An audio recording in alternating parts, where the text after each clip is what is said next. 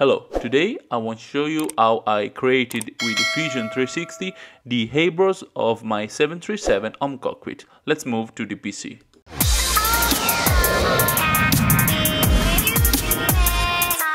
Okay, these are the Eyebrows that I created yet, but now I show you how I made it more realistic.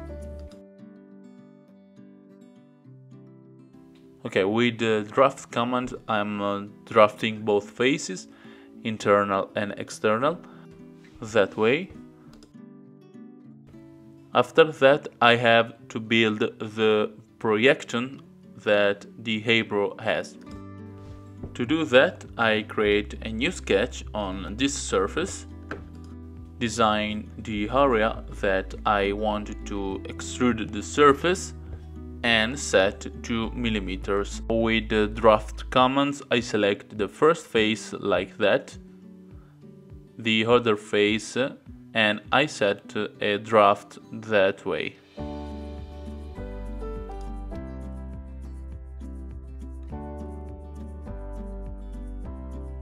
I click on press and pull commands and I'm doing a negative extrusion like that and I click OK. I modify the sketch, select uh, this line and put it a little further to the left to be more uh, realistic. I apply another draft on the top surface and bottom surface.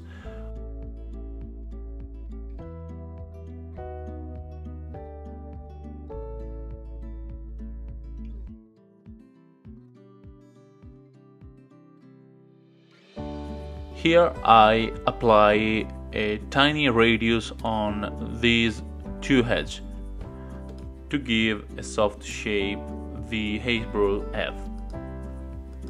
I'm always making some adjustment every time I need it. I think it's very hard to create it a total realism. I must adapt into my design skills and uh, ability to accomplish it.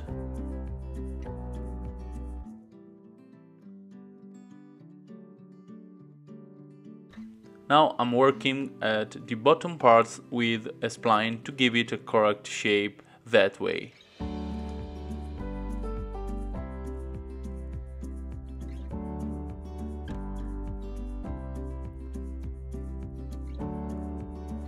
I forgot to remove this part. I do it right now.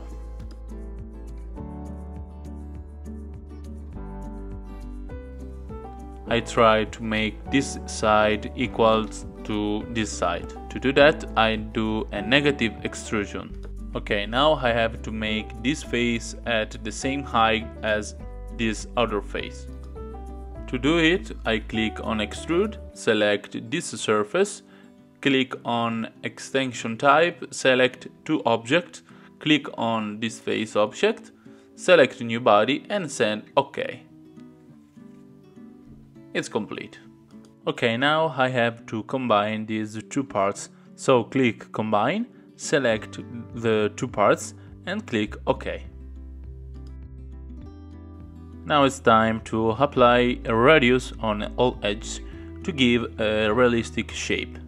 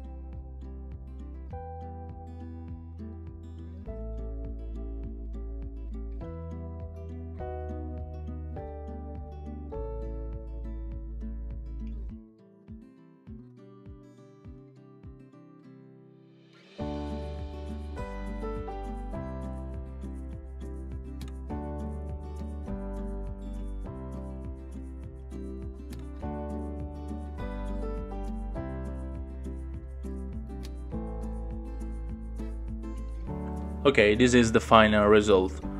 Things that I don't show you in this video is the creation of the holes in the Halo to fix in the position and the division of the Halo to create a 3D part that I can print with my 3D printer, the Ender 3.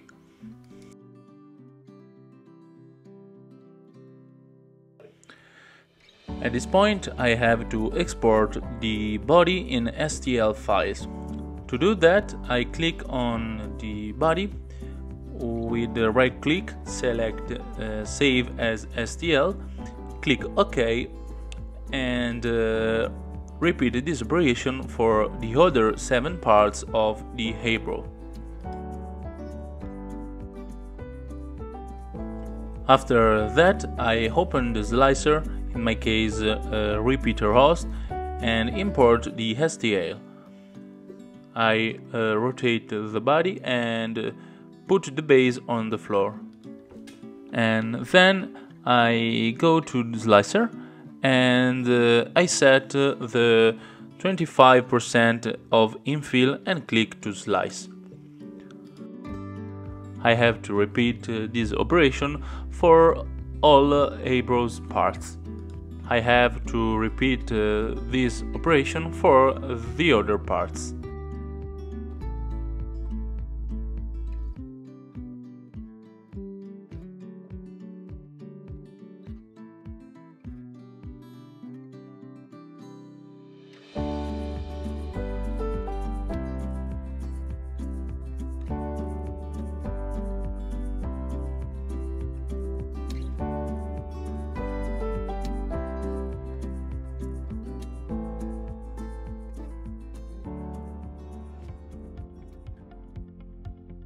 Okay, I did it.